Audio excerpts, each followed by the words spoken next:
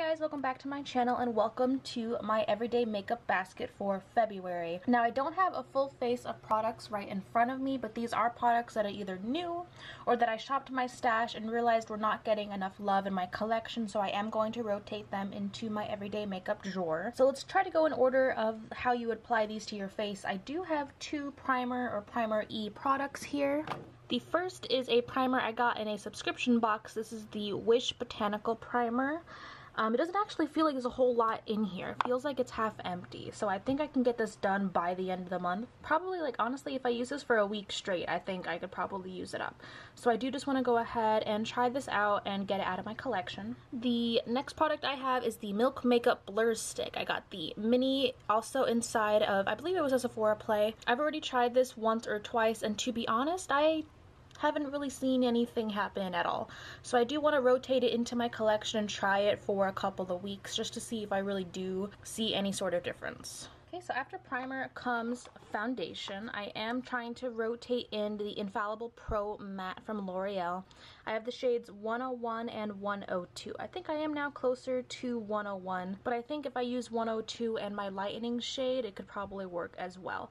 These are both about half empty and I've had them in my collection for about a year or so, so if I could, I would like to go ahead and use these up, hopefully by the end of the month or by, you know, mid-March. Next for powder, I am rotating back in the Urban Decay Velvetizer powder. This is an absolutely gorgeous powder and I am almost done with it. There's only a little bit left right there in the container. So I think if I were to use this for a month straight, I could go ahead and use it up. I don't like mixing this in with foundations as much now that it's um, so dry and my skin has been so dry, but I do love this to set my under eyes. So I will be using this along with one of my um, face palettes to set the under eye. So let's move from powder to contour and highlight. For contour, and like matte highlighting shades, I am bringing back out my Kat Von D Shade and Light palette. I've had this for about a year now and it barely looks like I've touched it. I have used it a little bit. I tend to focus on these two shades right here along with that shade right there. It is a little dark on me right now, just in the middle of the winter, but if I use a light hand and blend it out, this does make a nice contour. This I can use as a bronzer also if I use a super light hand. Honestly, I'd never touched this one shade, so I probably should just depot that. This is the refillable one, so they are removable pans, so I probably should just depot that and give it to someone who's actually going to use it. And then this one I believe is a shade I could use when it gets closer to the summer and I am a little bit more tan. So I am just rotating this into my collection. I am hoping to hit pan on one of these two shades. I've been using it every day to set my under eyes, like I said before, along with a loose powder. But overall, I do want to just move this into my everyday drawer and get a little bit more use out of it because it was pretty expensive. And the packaging is gorgeous, of course. Alrighty, for highlight, I have the Fenty Beauty highlighter. This is in Lightning Dust and Fire Crystal. Now I've already hit dust, I've already hit dust. Now I've already hit pan on one of the shades right there. That is Lightning Dust. Um, I am hoping to get a little bit more use out of Fire Crystal, which is the one I don't have pan on. It's a little bit more glittery, but I think there was a little bit of an overspray on it because once I got past like that kind of top layer, it's not as glittery. It's more, um, shimmery. So you can see there isn't as much like obvious glitter. The top layer was very glittery. So I think now that I've passed that top layer, I can get more use out of this one. Lightning Crystal is actually like a perfect everyday highlight. Like it's subtle, but it's beautiful. So that's why I have pan right there. So I am hoping to hit pan on a Fire Crystal and maybe use a little bit more of Lightning Dust. Okay, so I do have two eyeshadow palettes. Before I get into that, I'm going to get into the mascara. This is the CoverGirl Peacock Flair Mascara. I picked this up in an Ulta haul not too long ago, and I had so many mascaras open that I didn't get a chance to actually get into this one yet. Uh, but that is the wand right there. I have heard a couple of other YouTubers talking about this mascara, so I'm excited to try it out for myself, so I will be rotating this into my drawer. Now for eyeshadow palettes, of course I am staying with my um, Pan That palette, which is a Style Icon Lolita palette. I have that up on my vanity already. But these are two palettes that I also want to rotate into my everyday drawer. When it comes to eyeshadow palettes, I am a bit of a hoarder.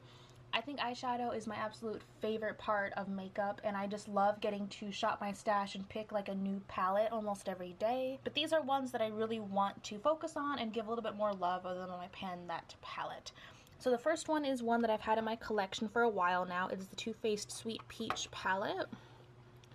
Now you can see there isn't a whole lot of use in it. Basically, I focused on this one, which is Luscious. That's my favorite shade in the whole palette and Bless Her Heart, which is that green shade right here. Now I am feeling these colors for spring. I mean, I'm a little bit early, but you know, one can hope for spring. I really want to use these pinks right here in the center. I want to get more use out of the Bless Her Heart green shade.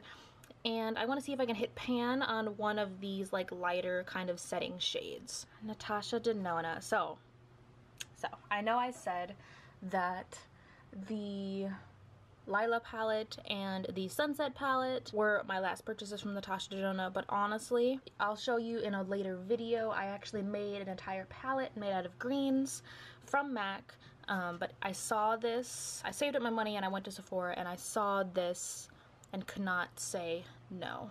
This is the Natasha Denona brown green palette. And just look at it.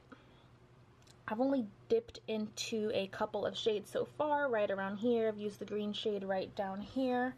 It came with a separate like flap with all the shade names on it. I'm going to try to hold on to this just so if I do a tutorial or anything I can have the shade names, but honestly I would probably just point just point at the colors.